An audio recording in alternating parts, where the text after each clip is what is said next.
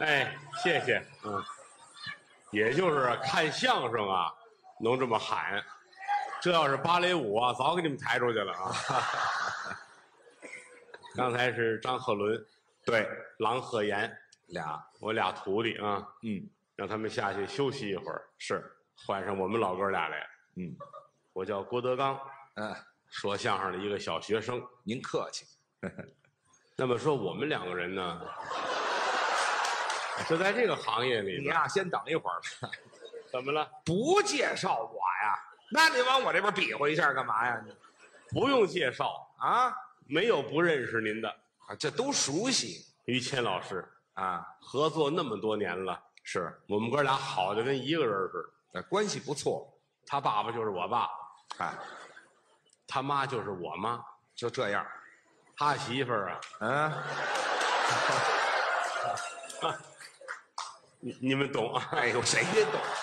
别往沟里带人，好的就不能再好了，跟谁呀？就咱俩对，那么大岁数了，不能瞎说啊。是，嗯，前天在这船上演了一场，对，今天又演一场。一共两场，对，这是游轮呐、嗯，皇家马德里号。马德里号踢足球呢，这，皇家加勒比号，哎，加勒比，皇加勒比是亚麻得不是？哎，喂，没有后边那个，皇家亚麻得号。看，加勒比，嗯原谅我没上过学啊。对，皇家不看那个，对对对啊，不像话，您这个啊，挺好。嗯啊，打国内出来奔韩国，嗯这一道上飘飘悠悠，嗯晃晃摇摇，嗯，船上有吃有喝有玩有乐，呃，全好些人还耍钱去啊。啊，有有赌场啊，今天的观众比前天的热情，哦，说明啊，甭来这套，你们就是赢钱了呀。心里高兴前天也是你们啊，啊，挺好，嗯一玩一乐的事儿。嗯，人呐，别给自个儿弄得特别的紧张。是，活一百岁的也没几个人，嗯，高高兴兴比什么都强没错，啊！刚才张鹤伦唱歌，看你们都乐成那样啊，高兴吗？那就是词儿不太好。前边词儿都不太好，但是唱的还行。哎，唱功不错，嗯，我们这行就这样。嗯，老话说得好，“子弟无因，课无本”，哦，就是说干这行的没嗓子，嗯如同做生意没有本钱是一样的。就是这个道理，子弟无因，课无本。嗯我们小时候上学那会儿，嗯就我虽然说没上大学啊，嗯但是像我、像于谦、像高峰，啊，我们小的时候，我们是在曲艺团的学员班。哦，那会儿给我们这个这个学员班呢，当年叫团带班儿。对，团里边带着就团里边弄学员班，是。但是学生呢也得有文化课，也上，都是搁着当地的戏校、对，在戏校里边上文戏，曲学校、对，京剧班、评剧班，啊，河北梆子班，哦，哎，曲艺相声班，哎呦，专门这么一班，我们是属于这种学校的同学，是，有他，嗯，有我，对，有高峰，哥仨都在，他比我大四岁，是，我们竟然一个班，您那意思我蹲了四年班是吗？不是就说您这个这了不得这个状态，怎么个这都了？属于拔高生，知道吗？哦一般都是那个三年级，但是突然间能力太大了，老师给这调到四年级了，是，或调到五年级，拔高。对，您这也是反拔高，哎，我这我拔岁数，我这那打工厂拔回来的，嗯哎好嘛，一块儿学。那会儿在学校里边，老师就第一告诉我们，嗯，有一个好嗓子，嗓子好，太酸的不让吃。酸的怎么了？今天演出，今天中午不许吃饺子，饺子饺子得蘸醋，哦，醋锁嗓子，对了，确实是，不能吃。嗯，太辣不能吃，辣的刺激这声带也不行，都可以啊。太甜的、太咸的不行，这叫齁嗓子，齁着受不了。对，太凉的来根冰棍儿，这要了命了，鸡嗓子。非得挨打不可。是是是，我们老师吃饭还讲究，他呢，大米饭拿剪子把两边尖儿都绞了去。这也太讲究了吧？就我们那班主任，啊后来饿死的，啊，对，这么吃饭非饿死不可。就是在一点儿不让你们这样。我们你小孩儿谁管得了啊？偷着吃呗，是吧？啊，真像老前辈似的，做不到啊。不行吗？当年曲艺界有一个唱大鼓的叫？刘宝全，那是鼓界大王。哎呦，那能耐大了，啊，到七十来岁，那嗓子甜的呀，就像小姑娘一样。还那么好，人家这一辈子几乎没吃过肉菜，全吃素吗？就吃素。哦，偶尔的说呀，今天补一补吧，嗯。炖一锅牛肉，嗯，把肉搭出去，哦，不吃，拿那汤烩点菠菜，还是吃素。那就算是吃荤了。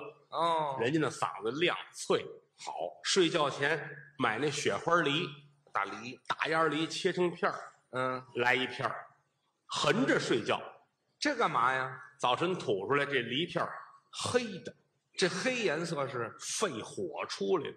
就就这么讲究，这个咱做不到啊，不行吗就？这么一说行。哦，我试过不灵，这梨片儿啊，我睡觉啊好咬牙，咬牙怎么？挨片儿横着，啊刚躺那儿，嗯啊嗯啊嗯啊哎，这 这就咽了。这哪行去这玩意儿？哦，后来我一想啊，这得有个人呐，就在床头看着我，哦，看着您盯着，我嚼了这片儿，咵给我续一片儿，还得往里续的呀。还好呢。啊，我就跟他媳妇儿说哎，：“你别睡，你真的，干嘛非跟我媳妇儿说呀？你找你媳妇儿去，我一看他媳妇儿不答应呢，就只能跟我媳妇儿说了：“啊这多新鲜。别睡觉啊，嗯，看着我，我这片儿梨只要一咽了，嗯你给我续一片儿。哦，往里续，买了五斤梨呀、五斤呐！大雪花梨呀、嚯，片了片儿去了核，嗯，一大盘子码在床头，盯着吧。含一片儿睡觉。啊，早晨一睁眼，嘴里边没有梨片儿。怎么没给续？哎呀，，我说我说你你怎么回事儿啊？不是告诉你给我续梨，你怎么没管我呀？不支持工作，谁说没管你？续了吗？我续的都没你嚼的快，哎，好，十分钟这五斤梨就续进去了，哎呦，我还给饶了半张饼，哎嗨，这吃夜宵来了，上面也就是手快，要不这戒指都没了。好，睡着觉改劫道的了，我们这玩意儿就没法跟老前辈比，学不了。所以说不是我们多好，嗯，朱砂没有，红土为贵。对了，每当有人一夸，哎呦，郭德纲、于谦，你们相声说的真好，嗯，我都惭愧。不敢当，有一个成语，就说我这就是浪得虚名，您客气。他是浪得难受，哎，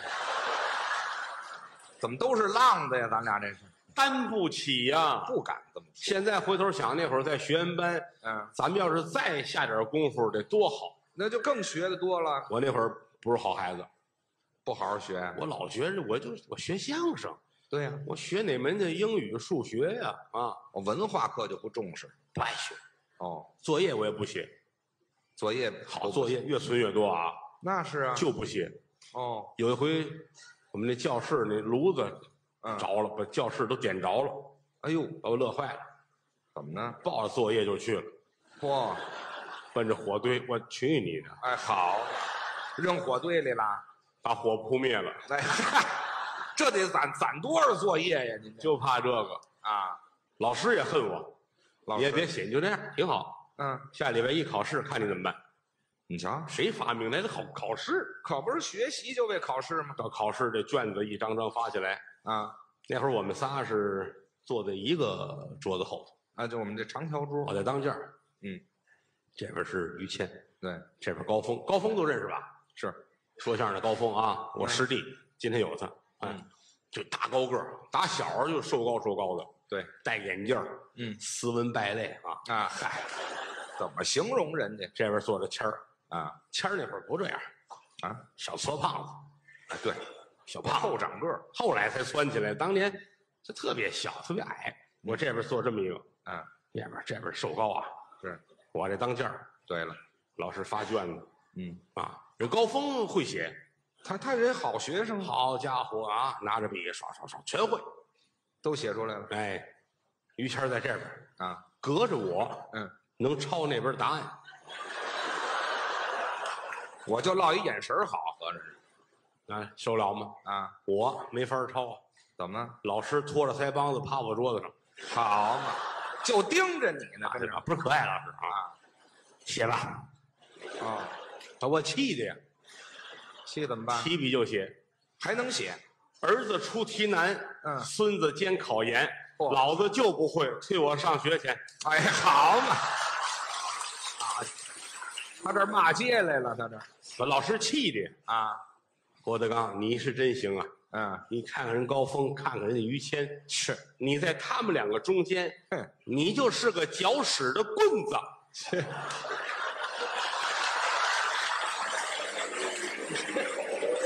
哎，你先等一会儿我是个棍子，啊！我们是屎，你怎么没说？谁还还还挺委屈你这？哦哦，什么？这什么比喻？这是？这么些年来，我终于明白了。一说我就明白了。就说这个意思，打小啊不不爱上学，哦专业课还行。学专业吗？当然，我们我们仨关系特别好。哎，那是。那会儿他在学校里老挨欺负，嗯，就是那个一帮人过来，于谦儿过来，干嘛呀？竟然敢跟我们穿一样的衣服，哟，打他，啪，铿光五四，这怎么打撞衫了就？你我赶紧救去。一会儿在那边一帮人，于谦过来，啊，敢跟我们撞衫，打打。不高峰去了，又给他救下来了。我干嘛跟谁都穿的一样的衣服？嗨，啊校服，啊，那不是就为打我而打我的吗？这个人缘儿不行，知道吗？？谁不穿校服啊？我们仨那会儿啊最好，哦我哦，们仨闺蜜，哎嗨，咱仨就别闺蜜了。姐妹花，姐妹花，哎喂喂什么呀，哥们儿，哥们儿，哥们儿花，我们仨，嗯，胳膊花儿烫上去了。不是不是，咱们仨最好。啊，就是就是，一上课的时候，嗯，我上课老睡觉，哦，因为有一个成语说的好嘛，啊，上课就睡觉，下课就尿尿，这什么成语？这是那就是他们赞美我啊。啊，上课就睡觉，拿书挡着睡觉。老不让老师看见。哎，有一回语文课，嗯，语文课我们那老师讲那个《木兰辞》，啊，这这很有都知道名。哈，嗯唧唧复唧唧，嗯，木兰当户织。对啊，就讲这个。哎，先黑板上先写，写完之后都会了啊，啊，他给擦了。又干嘛呀？来，谁背一遍？哎呦，当时就背他们瞪眼看着都背不下来，我睡觉呢，啊，对吧？他非非找我，嗯，我刚刚你瞧，迷迷糊糊，盯着你呢。老师，嗯，来，把刚才这背一遍。是我哪儿背去？我都傻了。不知道。看出哥们儿来了，嗯，在底下，嗯，花木兰，哎，就小声提醒一下。花木兰，对对对，这一说咱有底了。赶紧背吧。刘大哥讲哦，谁让你唱戏了？花木兰就是唱戏呀，还唱的河南戏，你这玩意儿老师气的没法没法的。啊？你啊，嗯在他们俩中间，嗯，你就是个搅屎的棍子。这你一犯错误，老师就骂我们俩，合着你一点办法都没有啊，是你就搅啊，一点办法没办法啊，就盼着下课。嗯，一下课走尿尿去。啊，下课就尿尿嘛？真挚的友谊就是一起上过厕所，这叫什么真挚友谊这叫朋友。啊？两个月，这念朋对啊，朋友。怎么讲？过去啊，这中国人这个居住地啊，就是在河南地区，嗯中原地带，那是中国人的发源地，黄河流域嘛？离着海边远，嗯所以把贝壳当成了钱币。嗯，为什么呢？因为它见的少，没有拿土疙瘩当宝贝的。嗨，就如同你要在西藏吃一醋溜土豆，你这费多大劲嘛？嗯，毛病在这儿了。哎，就是觉得贝壳值钱，所以拿贝壳当钱币，哦五个算一串挂在墙上了。哦，来朋友了，摘下两串贝壳来，带着你吃饭去。嗯这两串贝壳最后象形写成了这个朋友的朋，哦，就是这个交情，咱们是值得花钱的。是，叫朋和友，朋包括友，嗯，友不包括朋。嚯，哎，说细致这得说三天，嗯这说完这船都回来了啊。嗯，就大概明白这个意思，就是说我们好朋友，什么叫好朋友？啊，就是没有追求的时候开始是朋友，哦，大了之后交朋友，基本都是有有点借鉴或者有点利益在里面。有关系了。他有权有势，嗯我跟他交朋友。嗯，哎，他有能力，我跟他交朋友。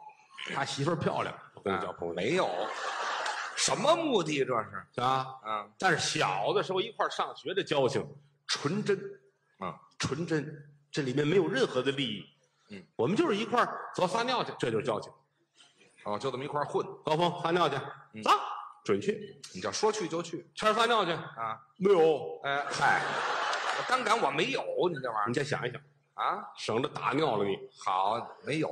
走，嗯，你再控控。什么叫控控？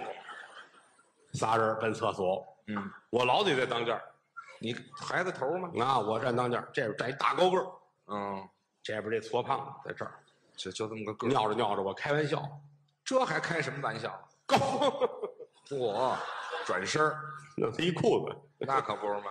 于谦儿转我这边来了。尿一脸，哎，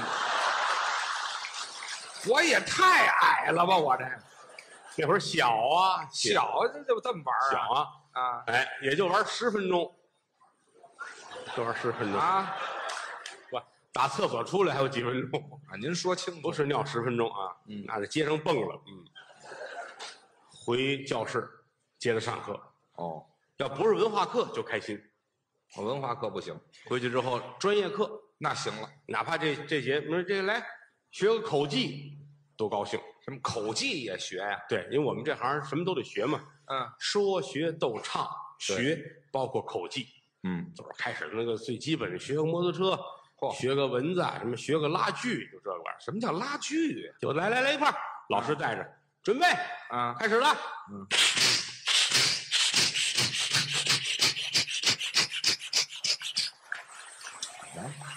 得学这个声音。倍儿开心。嗯，要不学个小动物叫吧？动物，哎，郭德纲，嗯，羊怎么叫？学站羊哎啊，站起来，咩。那个谁，高峰，嗯小狗怎么叫？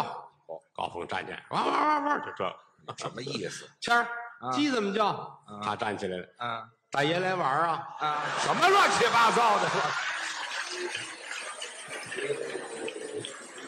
我这个成熟的太早了吧？我这就家教，什么家教？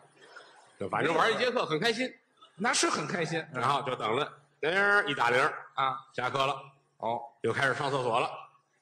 这尿频呢？这是老上厕所没事儿干呢，啊就活动活动呗。一说上厕所，于谦乐了，啊，拿一大捆的纸，哦大卷儿的卷儿纸。啊我们小时候，我们小时候上厕所没有现在你们那卷纸，啊，那会儿用草纸，对，那叫马粪纸嗯嗯，啊，还有的那个报纸，啊，就凑合。撕点报纸就擦屁股了。当年都那样，嗯啊，唯独他给我钱，嗯，喷香水的那种卷纸，还带香味儿呢。进口的，一闻倍儿香。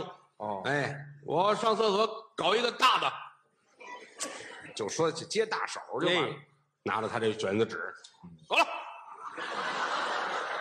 我这是上厕所啊，还是炸碉堡去了？我这这么大一卷子，到厕所蹲好了，碰这个闻，嗯好香啊，能香哪儿去？好！香啊！嗯嗯嗯嗯哎，好，我再把纸吃了厕所外边都纳闷啊，啊。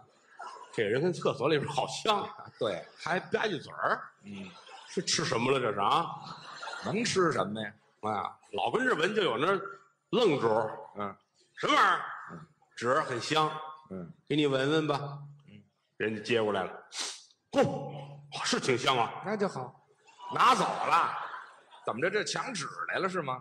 这节课就没回来，那是没纸了。等着下课，我跟高峰冲进厕所，啊给他抢救出来，好，我这蹲一节课一边一个吊着胳膊扶着他啊，在操场上遛弯儿腿都蹲木了，我这。腿都木了呀，啊，一边走一边哭啊，那是啊。呃，呃呃我这干嘛哭啊？呃哎呀，你说你至于不至于？就是不是啊，啊，我上厕所解手去，嗯，有人把纸给我抢走了，是啊，正为难了，你们俩给我救出来，就是。你们俩还扶着我跟这儿溜达，多好啊！可是有一样儿，怎么？这还没提裤子呢。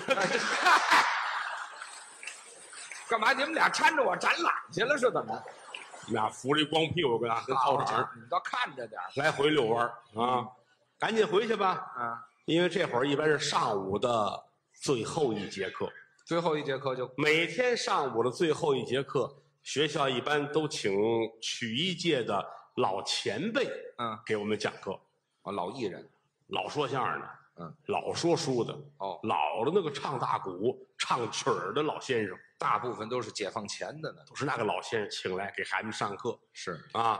这节课都紧张，怎么紧张？因为您那会儿教我们那个先生姓黄，是，九十二岁，哦这么高龄啊，姓黄，嗯就是毛片儿的那个黄啊，啊，嗨，有这么介绍人姓儿的吗？九十二，那胡子就跟齐白石似哦，都这么长，俩眼睛有神，嗯啊，来了，老师讲课都站着，唯独他单有一个座儿哦，他得坐着。讲桌旁边有一座儿，跟这儿坐着。教室最后一排啊，嗯校长、主任、年级组长、班主任都在，哦，伺候着呀，就听课，坐一排嗯。老头儿坐着，不怒自威，啊，很威严。全班都害怕，嗯嘀咕咕咚，哎，嗯，老头儿，嗯。上一节课讲的那个北京小曲儿，嗯，都谁会唱了呀？这要问一问，谁呀？都害怕。哎呦，心噔噔跳啊！嗯，可别叫我，哦，九十来岁老头儿，尤其旧社会过来，嗯他他骂人，你知道吗？啊，对他不讲究那么多他一言不合就骂人啊，都嘀咕。老头儿站起来，嗯，嗯，点名啊。点名啊，哦，谁呀？于谦，我招他了，他上来就叫我于谦站起来了，啊！我至于害怕成这样吗？哆嗦成这样，老头看着，嗯，站好了，哦，哆里哆嗦的样子啊！啊，你这个状态很像在厕所里被人把纸抢了似的。这孙子是唱曲儿的还是算卦的呀？这个怎么连这他都能知道啊？这儿哆嗦成一个了。啊，先生好。烛影摇红雁，透纱窗，雨后生寒。这是曲儿词，唱，嗯，呃，啊，烛影摇红雁，透纱窗，雨后生寒。住口！别唱，什么东西没味儿。啊？嗯一天到晚就跟着混，嗯，唱的这玩意儿，还不如我孙子呢。怎么这什么叫话呀？这叫张嘴就骂人，啊？但是对我们来说并不觉得吃亏。怎么啊？他九十二了，我们十多岁，你唱的不是我们孙子，这这对不叫事儿。他孙子比我们都大。他孙子不得个七十多吧？哎啊，这结婚太早了，这反反正不小了，是不小。所以并不觉得多丢人。嗯啊，还不如我孙子呢。是，哎，于谦儿洋洋得意坐下了。我这不丢人，也不至于这么美不滋儿的，知道吗？下一个啊，高峰，该轮他了。高峰，嗯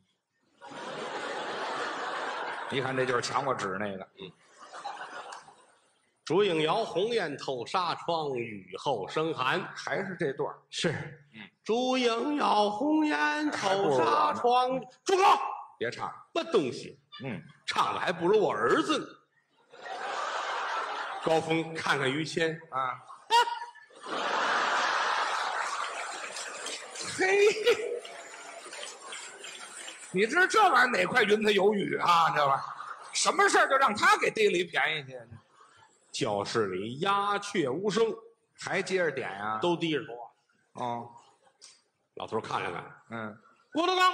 到你了，先生好，嗯，一个敢说话的都没有啊！这前面俩都那样，老头儿一拍桌子，真急了。站起来了，哦，拿手指着我，这怎么着？请您唱一段。对，什么老师这？我嗨，别这么贱骨头，这老师至于这样吗？是先生，啊，烛影住口！没唱那也是拦住了吗？唱的跟我爸爸似的。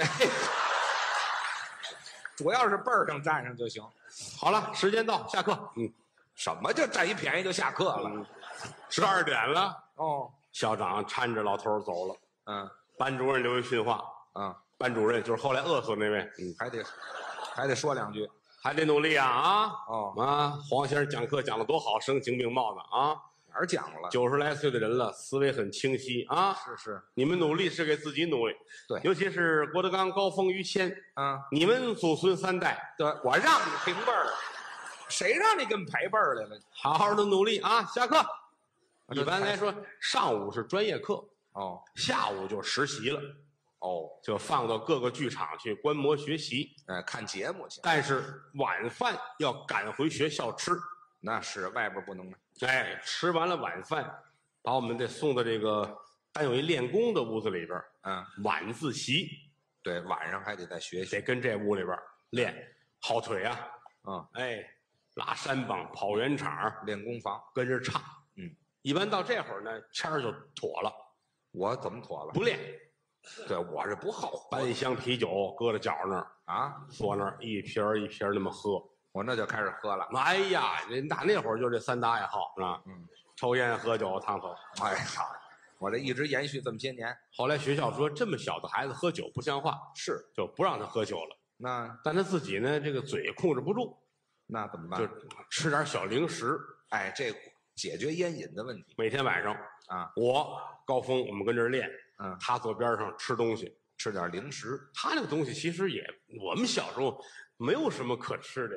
你那我吃什么呀？他每天晚上这么一大兜子，家里给送来的，啊，炒的黄豆，我炒黄豆当零食啊，列位，啊干炒黄豆那这玩意儿香，十斤，十斤是一天。就这一晚自习啊，啊十斤炒黄豆，知道吗？哦啊，也不让喝酒，那玩意儿咧得很啊，是干啊，喝凉水。拿凉水顺哎，来大瓶子啊，凉水，吃这个，嘎吱嘎吱嚼，嗯，吨吨吨喝。是晚自习十点来钟结束，对，他也吃完了，嗯，就这十斤炒黄豆，哦，一肚子凉水，嗯就在肚子里边。好家伙，啊，上来下去，上来下去，嗯，这通叨腾。嚯，打这儿走回宿舍，十点半熄灯关关灯睡觉，睡觉。嗯我们这个宿舍呀，嗯，几个人一屋都有，嗯，但我们三个人是要求睡一个房间。哦，咱们仨一屋靠门这儿呢有一个单人床是我的，啊，墙这边有一个二层铺，是他和高峰的。哦，我们俩睡一二层，哎，他们俩上面一个，下边一个，上下铺嘛？下边这个呢就是于谦，嗯，上铺就是高峰。啊，他在上，我在下，哎，这个晚上您想吃一肚炒黄豆，这么躺着受不了，嗯，受不了怎么办呢？他就得趴着，趴着睡，屁股冲上，趴着。上面是高峰啊，嗯，哎，上面高峰，高峰呢又闲得打呼噜，啊，所以脑袋呢就掉过去冲那边。啊我说这形象你听明白了吧？啊，你们一定要注意这个啊，哎哎，下边是于谦，嗯，上面是高峰，嗯，于谦脑袋冲这边，高峰脑袋冲着于谦的屁股这边。反着，哎，于谦啊趴着，嗯哎，高峰呢也趴着，理解了这个？我再说一遍啊，就别说了，都明白了就完了。一般来说，这点黄豆跟凉水啊，得到早晨四点半左右才起作用呢。哎，它得经过一段发酵。那是，就起了化学作用了。嗯，听，踏，踏的令，踏令，踏令，定踏，踏踏令，踏令，定踏的个令，踏令，踏令，定踏。行了行了哎，我放出一副板儿来，合着是所有的宿舍啊，啊，所有的房间人都纳闷儿嗯，这春节提前了是怎么着？放炮仗一般来说，半个钟头，啊我只要听见第一声响，我就把被窝蒙上了，啊，一直到最后没有了，撩开了。嗯，哎，这屋里边等着尘埃落地，哪儿有那么大土啊？都看不见，至于吗？看不见。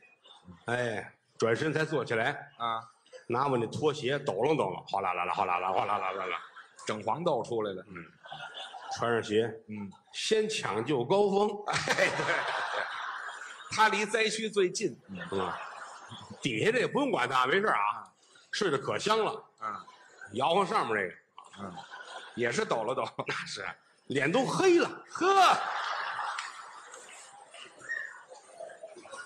摇晃醒了高峰，嗯嗯，啊，这缓过神儿来了。哎呵，这是吐出一黄豆来。哎呀，哎，我说你要死，你知道吗？啊，嗯。你躺在枪口这儿呢。我说你劝劝他吧啊！嗯。高峰正经的跟谦儿说过，嗯，谦儿，你看咱们哥俩那么好，找我谈。没有这么大的深仇大恨，是，你能不能不吃黄豆喝凉水？你能不能换个姿势？啊？谦儿说：“我改变不了啊，嗯。我就得那么吃，我就得那么躺着。对，”高峰说：“我也得那么躺着啊，哎对，那就来呗。这可怎么弄啊嗯？”后来气的高峰啊，嗯，真说狠话。他说什么呀？于谦儿，嗯你要照这儿啊放哈，嗯，早晚得把你那大肠放出来不可，好家伙，这是方我。知道吗？哎，早晚你得把大肠子放出来。嗯气话，啊，你说你的，他放他的，我管那个呢。这一晃呢，三年过去了。嚯，这玩意儿还真能坚持。啊，是啊，后来也实在不行了，嗯跟我商量，嗯，那个，您看咱们都快毕业了，嗯我能不能睡一个安稳觉啊？你跟我说没用啊！熬三年了。啊，你天天跟他说，他都习惯，你也习惯。嗯，不是，咱们能不能报复一下？怎么叫报复？我说怎么报复啊？那个，这给我出个主意。嗯，我说主意是有，嗯，你得花点钱。花钱你老跟他说这把大肠放上，他也不信。啊？你花点钱去买一挂猪大肠来，哦，早晨放的时候你给他扔炕上，嗯他一看嘴吓一跳，嗯恶作剧吗？嗯哎，高峰乐坏了啊，嗯上菜市场买一挂猪大肠来，嗯搁塑料兜里边。嗯，早晨四点半之前，啊，就听着得叮当，开始了。高峰下来了，掏出肠子来给谦儿，顺在被窝里边，塞被窝里了。大炕上下来了，我都没睡，我等着呢。嗯，走，出来。我们俩出来，宿舍门口等着，这听音儿去了。看着表，哎，屋里边叮当，嗯？你屁还琢磨呢。啊，他自个儿想，嗯，五分钟门开了，嗯，于谦儿一脸惨白，嗯，看见门别人进来啊，咵，关上门了。又十分钟啊把门打开了。松口气。高峰，嗯你老说我能把大肠放出来，嗯今天你说对了，啊，我真给放出来了。真害怕了。不过你放心，没事儿怎么呢？我又给他塞回去了。哎，